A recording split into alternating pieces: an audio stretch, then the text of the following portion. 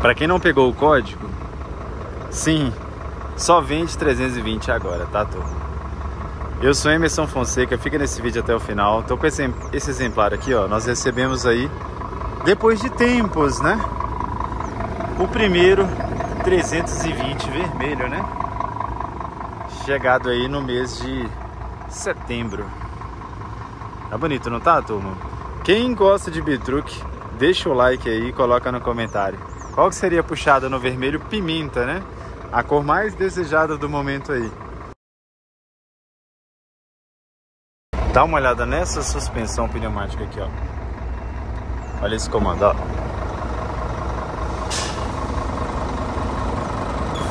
Não sei se é perceptível, ó. Vou nivelar, ó.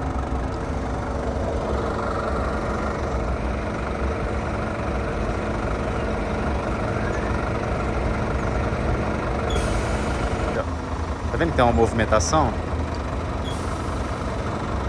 Ou seja, nesse eixo aqui, ó, ele atua fazendo um alívio de frenagem, né? Interessante, ó. Legal. Deixa eu mostrar pra vocês aqui, turma. Eu sei que vocês gostam demais, ó. Cabine P. Essa é uma versão linha 24, né?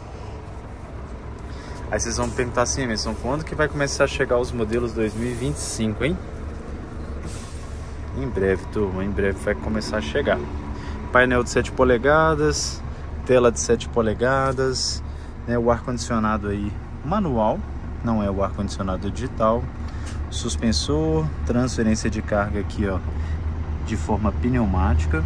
Quando vocês forem transportar fruta, que é o nosso público-alvo para esse tipo de equipamento aqui é baú, cider, transporte aí de peças automotivas aqui na região e fruta, né? Puxada da fruta é uma das mais desejadas. Quando vocês entrar na terra, no off-road com esse produto, pega essa dica aí, tá? Pega esse código aí que pode ser interessante para você, ó. O que que acontece? Entrou na terra, no off-road com ele, dá um toque nesse botão aqui, ó.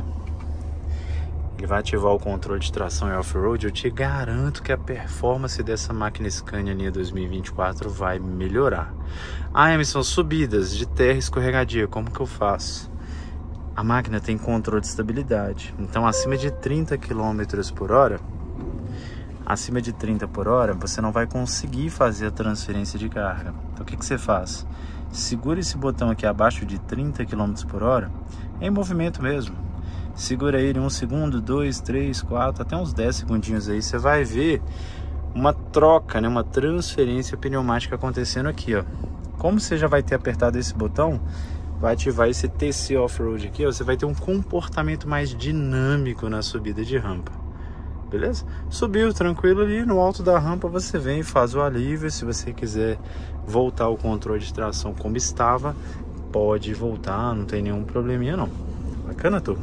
Então assim, geralmente a gente induz vocês aqui, ó, é, a usar na estrada de terra, né, off-road, dá um toquinho aqui, ó. Dá um toque ativo off-road, né? Então, percorrer terras, subidas, descidas escorregadias e algumas situações periféricas que você precisar de subir, é...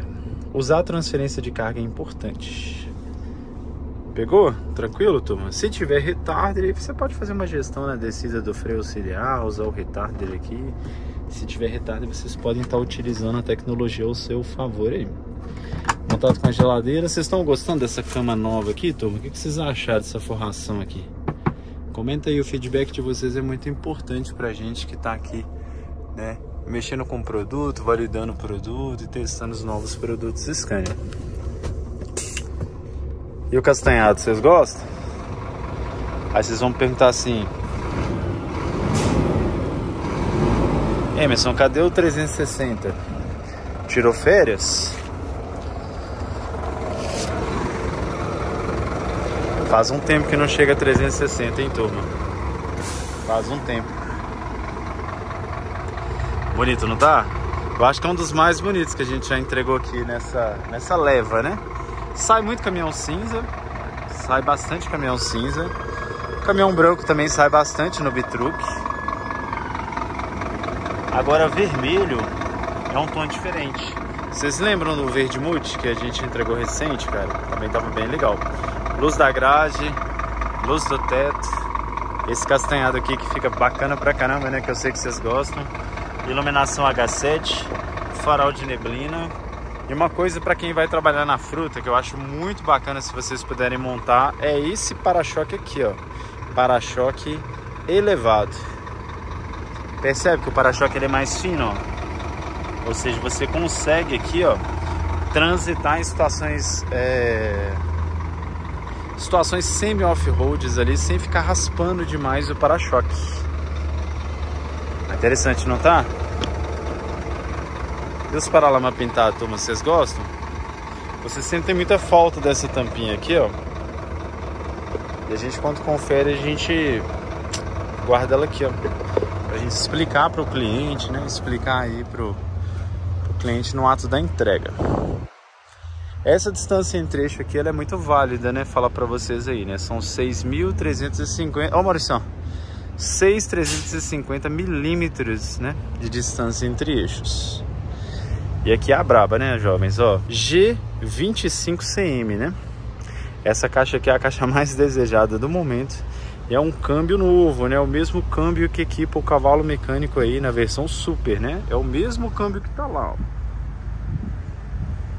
ou seja, 13 velocidades e usa retarder. O retarder é opção? Sim, mas esse aqui está com retarder, ó.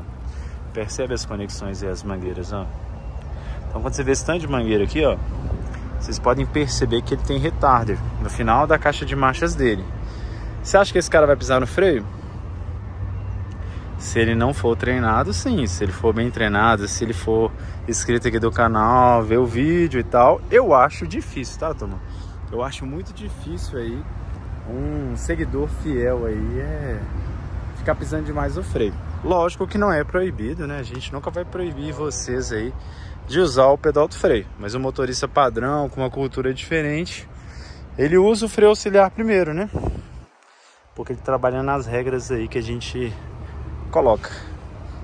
Ele está com controle de tração, controle de estabilidade, a suspensão traseira dele já está pneumática. Os pneus você consegue mexer também na altura dos pneus, né? Aqui tá com 295, dá para você montar 275. Aí fica a escolha do cliente, o perfil, né? A montagem. Dois tanques operacionais, né? Lembrando que as plataformas, 90% delas vem em tanque alumínio. É muito raro você ver uma plataforma dessa com tanque de ferro. O GST você vê mais, né? O tanque de aço ali, né? Olha o sistema de refrigeração do retardo, tanto que tá legal aí. Catalisador dele tá aqui. O tanque do Arla dele tá alocado aqui pro do lado do tanque de combustível diesel. E o tanque do Arla dele, vocês podem perceber que já está vindo com filtro. Isso é muito bom. Isso é muito importante, tudo.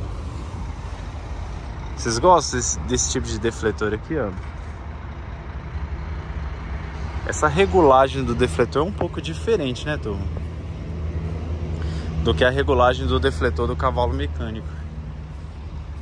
Dá para você montar, acredito que dá para você montar outras opções, tá? Que ali, ali tá mecânico, ó. E ali você consegue fazer, né, o giro da para poder você levantar a suspensão. Agora aqui tem alguns níveis né, de trabalho ali, só que o modelo é diferente. Mas eu já gravei outras opções aí que tenha outras variáveis. Esse saquinho plástico aqui, ó, é o manual original. O extintor tá aqui também. E de tecnologia aqui, ó, como a gente viu que ele tem o retarder na caixa de marchas, ele trabalha aí com cinco níveis, né, de retarder. É o retarder é o mesmo do antigo? Não. Aqui são 4.700 Nm de força, né? E você consegue conjugar o freio motor aqui, ó. Né? Ele tem CRB no cabeçote? Não. Ele vai ter cinco níveis aqui, e vai ter o freio de escape. Ainda tem como você conjugar o modo automático com o pedal do freio, né? O automático do retarder aí. Ele já foi predisposto aí com os assistentes, né? Assistente de rampa, assistente de faixa, de frenagem, preparação para tomada de força. Essa distância entre eixos é uma distância longa, né? De 6,350, então vocês conseguem aí colocar diversos implementos. Isso ficou um ponto bom. Vocês sabiam que que esse maleiro aqui tem chave? Vocês já tinham percebido isso? Esse maleiro aqui é o único maleiro que você consegue trancar ele, ó. E a chave dele vem escondida aqui, ó. Talvez eu nunca mostrei para vocês no canal aí as minúcias, né, de um equipamento. E isso vem em todos os todas as cabines, né? Todas as versões de cabine aí, isso vem. Essa cabine aqui é a cabine P, né? A gente chama ela de CP porque o túnel do motor dela é um pouco mais elevado. E é uma cabine leito, né? Que é uma cabine 20 no teto normal. Então é... A gente sempre fica instigando aí a vinda, né? A chegada do, da cabine P na versão H, né? Que é o teto alto, né? Só que eu não sei nem como que é a demanda disso aqui no Brasil, tá tudo? Porque a gente nunca entregou uma PH. Chegou recentemente a GH no Brasil, né? Deve ter uns dois aninhos aí, no máximo três, que foi apresentado pra gente a GH. Mas a P no teto H seria interessante também. Eu sou doido para poder estar tá de perto numa cabine L, que a cabine L é uma versão totalmente diferente. Mas é, a gente vê muito na gringa, né, turma? Então é isso, ó, 320 HP de potência na cabine P, Euro 6 com pacote de segurança ADAS aí. Tamo junto. Coloca no comentário o que, que você vai achar desse conteúdo, o que, que seria fazer com um bitruque desse aqui. E até o próximo vídeo. Valeu, fui!